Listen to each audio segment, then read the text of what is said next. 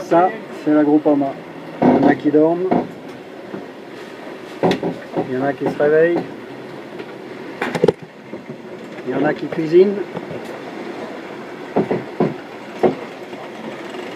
Il y en a qui barrent.